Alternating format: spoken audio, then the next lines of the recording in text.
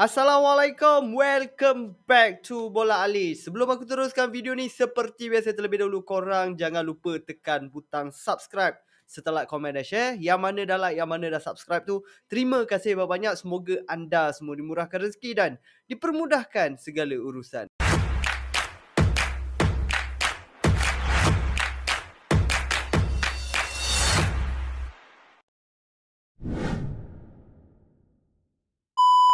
Nampaknya transfer window Liga Malaysia kita dah semakin rancak. Yang aku rasa paling rancak sign player import buat masa ni Pasukan JDT dengan pasukan Selangor lah. Sebab kedua-dua pasukan akan bermain dekat pentas Asia. So gang, untuk video pada kali ni aku nak skodeng sikit. Pemain import baru JDT buat masa ni yang dah confirm.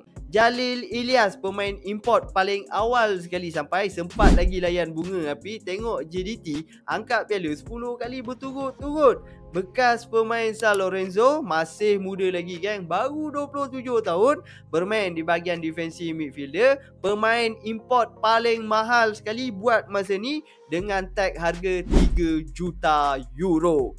So, pada awalnya dia adalah pemain daripada Argentina sekali dapat collab untuk pasukan Syria. Rupa-rupanya dia adalah pemain kacukan Argentina Syria rupanya. So, berkesempatan jugalah layan dia punya gameplay dekat Piala Asia ni. Nampak dia punya permainan more to defensive midfielder. Peranan dia lebih kurang sama macam Hong Wan tapi ada kala dia berada di bahagian atas bantu jentera serangan. So, senang cerita dia ni pemain tak ada jantung mat. Atas bawah dia cover Dia punya ball recovery pun padu juga Eh So bersesuaian lah Kenalah dia punya cara permainan Dengan tag harga semasa dia sekarang ni. Sebelum tu TMJ ada cakap Yang JDT pada musim ni Underdog. Selepas orang cut bajet operasi Kurangkan staff Sekali orang sign Jalil Ilyas Dengan market value 3M Lepas tu eh Muncul pula Francisco Graldes dengan market value 2.5M pemain kedua termahal eh di dalam saingan Liga Super Malaysia kita. So sekarang ni kalau dah macam ni punya cerita aku rasa ini bukan underdog lagi ni. Ini memang sengaja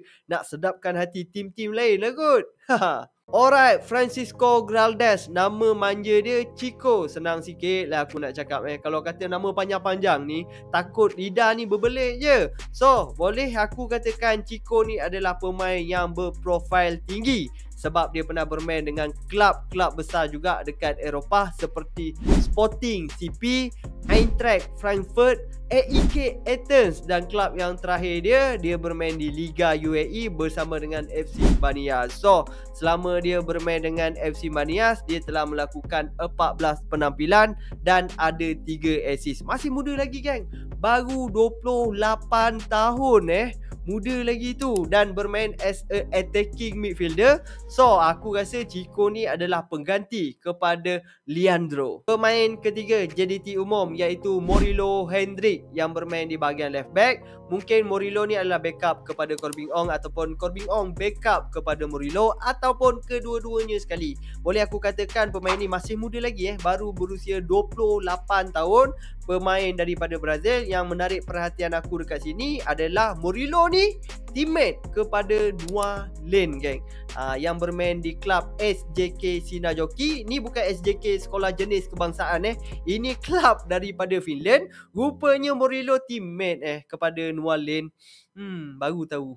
Dari segi permainan eh, walaupun dia bermain di bahagian left back, tapi dia kaki dribble mat. Goma melakukan hantaran-hantaran lintang, suka masuk di bahagian half space untuk melepaskan rembatan-rembatan. Daripada segi bertahan pun nampak agak bagus sebab dia ada speed. Alright, pemain yang terakhir JDT umum buat masa ni baru je 3 hari lepas masih panas-panas lagi iaitu Nikola Dumitru yang bermain di bahagian jentera serangan, pernah bermain dengan big club eh antara antaranya adalah Napoli dan Nottingham Forest. Bukan biasa-biasa mat. Mamat ni last club dia bersama dengan pasukan Buriram United melakukan 9 penampilan dan satu jaringan.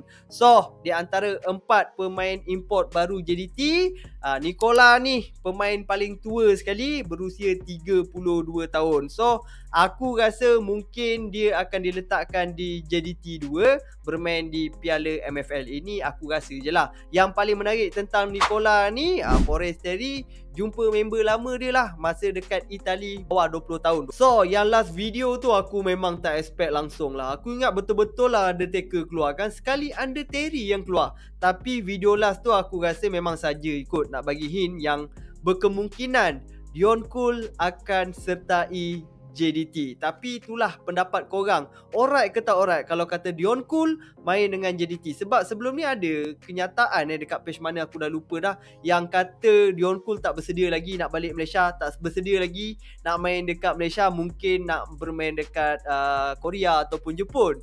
So pendapat korang macam mana? Tapi TMJ ada komen eh yang dekat video Under Terry tu dia cakap tiga pemain import dah sign, satu akan dilonkan.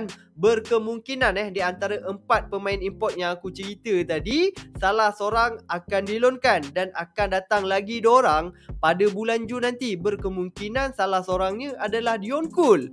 So, lagi satu pemain lokal dah sign tapi dilonkan untuk cari game. Berkemungkinan Azam Azmi lah kot. Dan lagi seorang pemain naturalisasi geng. Yang ni menjadi teka-teki sikit antara Romel Morales ataupun Leandro. Korang rasa siapa? So geng, untuk video pada kali ni aku rasa cukup sampai di sini saja. Bertemu aku lagi di dalam video yang seterusnya. Assalamualaikum.